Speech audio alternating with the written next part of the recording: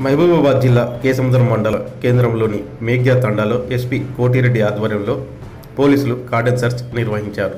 ఈ కాటన్ సెర్చ్లో నూట యాభై మంది పోలీసులు పాల్గొన్నారు.